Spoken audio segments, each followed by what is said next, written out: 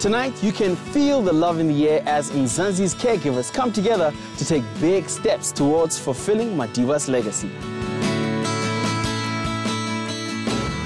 With the help of Mzansi's generous people, former President Mr. Nelson Mandela's dream of a dedicated specialist hospital for African and South African children can finally be realized. Acting today, touching tomorrow.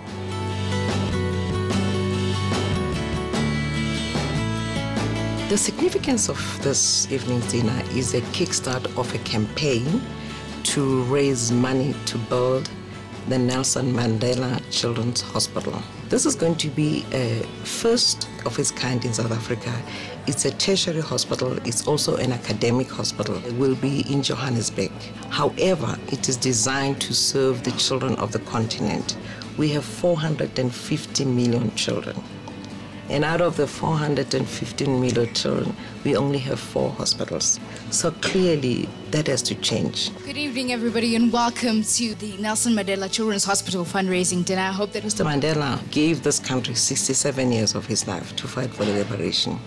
Gave 27 years of those in prison. With his first paycheck, he created the Nelson Mandela Children's Fund. Tonight's initiative is a bold step. A billion rand is a lot of money. I had a lot of fear about this hospital because I knew that as the Nelson Mandela Children's Fund, we couldn't do it by ourselves. We would need to mobilize the entire world to build this for children of Africa. To able to get involved in this project is extremely important because one lives to sort of give back to the country and Madiba's project has just been the most amazing one for me. Everyone can make a difference, whether you're a big retailer, a corporate or an individual like myself, you can make a difference to a cause that's worthy. So this is a worthy cause and we all know it and we all have an obligation to try and make a difference, so here I am. Mr. Mandela is so passionate about children and I think that having this hospital will, will impact a lot of children's lives and will better our community and hopefully, hopefully improve South Africa. I thank you for your commitment as we work together to take one step further in our efforts to changing the way society treats its most precious asset, our children. I hope we will achieve the objectives of getting people to open up their pockets and be generous for one of Mr. Mandela's uh, wishes and perhaps uh, his last most important wish.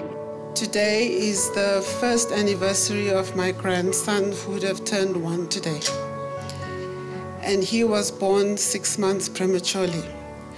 We lost him and it was very painful for the family because once again, here's a little kid who could have been saved, but for obvious reasons, we lost him.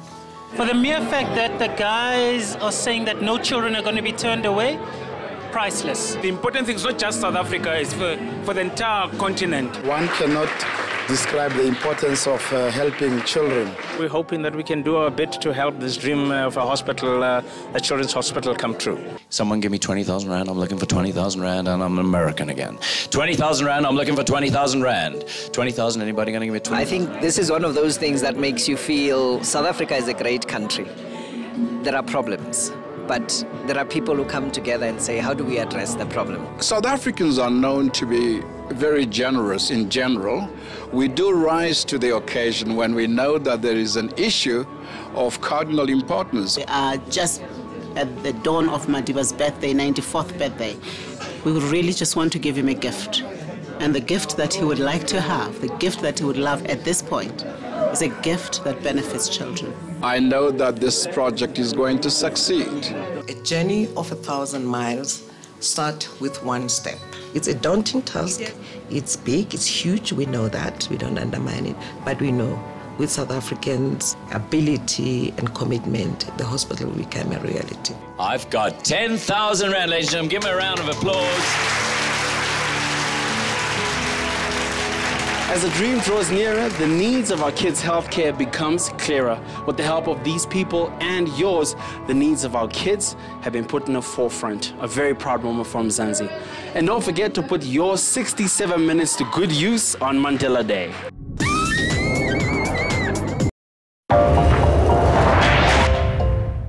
Proudly brought to you by Hennessy Cognac.